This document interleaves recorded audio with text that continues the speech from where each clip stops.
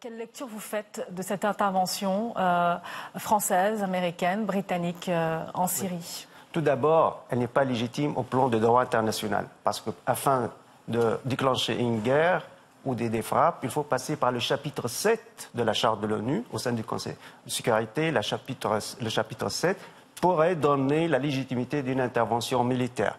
De cette façon, l'intervention des Américains en 2003 en Irak n'était pas légitime. Deuxièmement, moi, on a attendu trois genres de frappes. Soit une petite frappe juste pour sauver la façade de Donald Trump, parce qu'il a des problèmes à l'intérieur de son pays, ou une frappe moyenne qui pourrait déstabiliser l'armée syrienne, ou une vraie guerre afin de changer totalement la donne politique sur le terrain. Finalement, on est au premier niveau, ça veut dire juste une petite frappe, juste pour sauver la face de Trump, sans changer la donne militaire et politique sur le terrain. N'oublions pas que l'armée syrienne a gagné cette guerre à Alep, la deuxième ville, et puis à Routa. J'étais à... Pour contextualiser cette euh, opération militaire, elle a eu lieu euh, euh, en représailles, en tout cas, une attaque chimique présumée à Douma. Est-ce qu'il fallait y aller, oui ou non?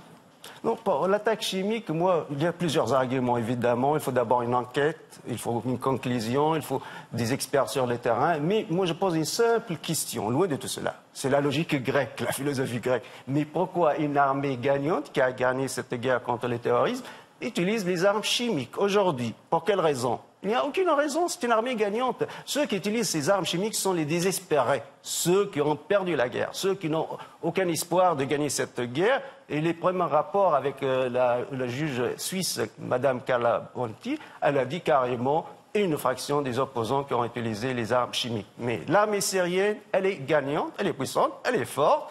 Euh, elle n'a aucune raison d'utiliser Qu'est-ce que vous dites précisément sur cette attaque chimique présumée euh, à Douma euh, les, experts de l'OISI sont en Syrie. On attend encore leur arrivée à Douma précisément pour débuter cette enquête. Pour le moment, elle n'a jamais eu lieu. Ici, jamais, ce sont les terroristes. N'oublions pas, on est face à des terroristes et les armes chimiques sont faciles. L'accès des armes chimiques sont faciles pour les terroristes des terroristes Jaish al-Islam, Jabhat al-Nusra qui est Al-Qaïda. N'oublions pas que Jabhat al-Nusra dont on parle partout, c'est Al-Qaïda, c'est la branche d'Al-Qaïda en Syrie. Et évidemment, Daesh. Donc là, ils peuvent utiliser des armes chimiques, ce sont des terroristes, ils ont égorgé, ils ont tué, ils ont massacré. Mais une armée nationale a le devoir et le droit de protéger sa population. Et elle est gagnante même contre les terroristes. Donc pour quelle raison elle utilise les armes chimiques? Alors cette intervention, euh, elle suscite euh, beaucoup de divisions au sein de la classe politique française, euh, britannique, on l'a vu, euh, au sein de l'opinion publique aussi. Emmanuel Macron, il, euh, distingue bien, en tout cas il en a beaucoup parlé de, cette intervention, il distingue bien, il parle lui de légitimité internationale, non pas de respect du droit international.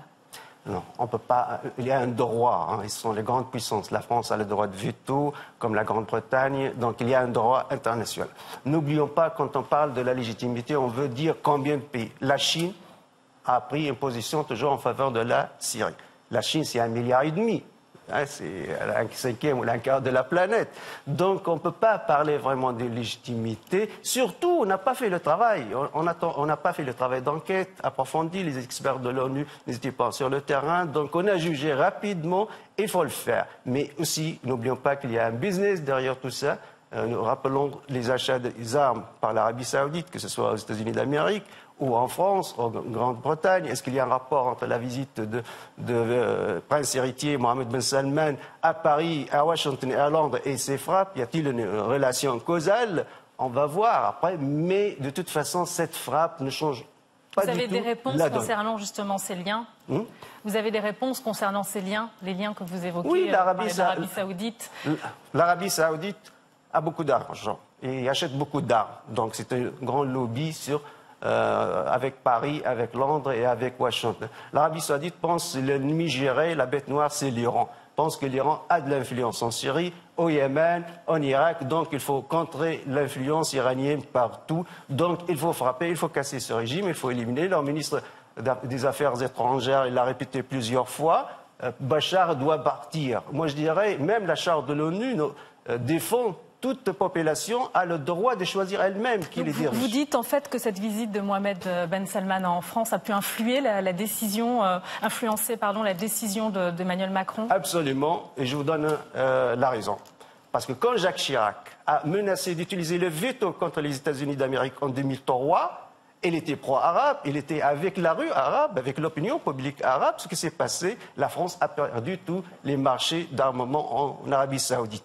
Parce que les Saoudiens disent alors on n'achète plus chez les Français, on va acheter que chez les Britanniques et chez les Américains. Et ils étaient sanctionnés. Jacques Chirac et la France a été sanctionnés. Aujourd'hui, la raison d'État, l'État français aussi a ses intérêts à défendre. On ne laisse pas ce gâteau bouffé uniquement par la Grande-Bretagne et les États-Unis d'Amérique. On a le droit aussi de ce petit gâteau. Donc, on intervient. Mais comme j'ai dit, ce ne sont pas des phrases qui changent. Qu'est-ce que vous pensez, vous, de l'axe euh, l'axe Washington-Paris, euh, enfin, je veux dire, euh, les relations entre Washington et Paris, parce qu'on sait que bientôt il va falloir prendre une décision concernant le nucléaire iranien et que les positions ne sont pas forcément les mêmes. Ne sont pas les mêmes, évidemment, parce que la France aussi, quand on parle des intérêts, moi je suis politologue, donc je n'ai pas des émotions, je parle que des intérêts économiques, a signé des accords avec l'Iran, plus que 100 milliards de dollars en, en vendant des Airbus et des voitures Peugeot, presque 100 000 voitures par an. Donc là aussi, la France des intérêts économiques avec l'Iran.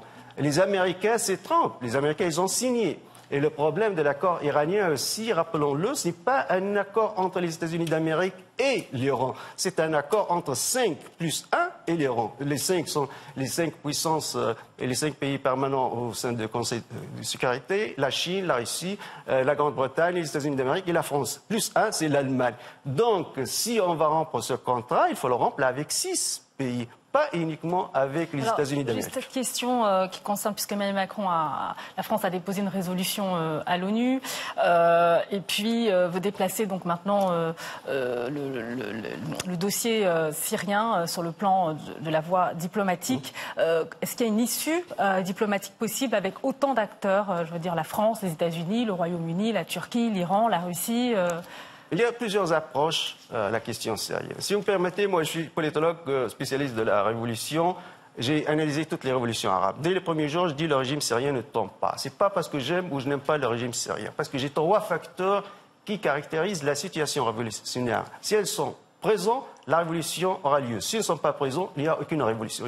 Premièrement, la radicalisation de l'opposition et qui exige le départ du régime, même pas les réformes. Deuxièmement, les divisions au sein des élites au pouvoir. Troisièmement, et c'est le déterminant, c'est la position de l'armée. Il faut soit une neutralité de l'armée ou une trahison de l'armée vis-à-vis du régime. Ces trois facteurs n'ont pas eu lieu. Comment on veut une révolution? Par l'extérieur, aujourd'hui, on parle des dizaines de milliers de combattants tchétchènes des Igors chinois, des Maghrébins, des djihadistes qui viennent d'Europe et de, partout dans le monde entier est-ce qu'on va importer une révolution de l'extérieur? La révolution, c'est une boîte noire fermée. Cette révolution, soi-disant révolution, elle a été financée par le Qatar et l'Arabie saoudite. Aujourd'hui, l'ex-ministre des Affaires étrangères qatarien a donné une longue interview. Elle a dit oui, on a financé euh, cette révolution, mais qu'elle n'a jamais eu lieu euh, avec des, des, dizaines et dizaines de milliards de dollars. C'était un business dans la région. Bon, ça s'est lié aussi avec le gaz et d'autres objectifs stratégiques.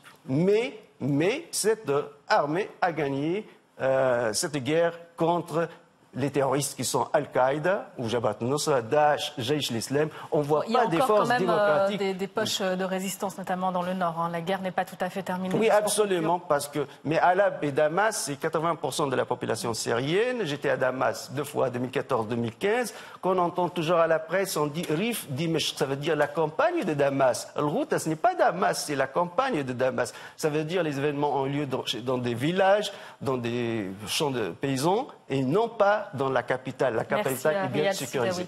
Merci beaucoup pour euh, cette intervention en direct sur RT France. Merci.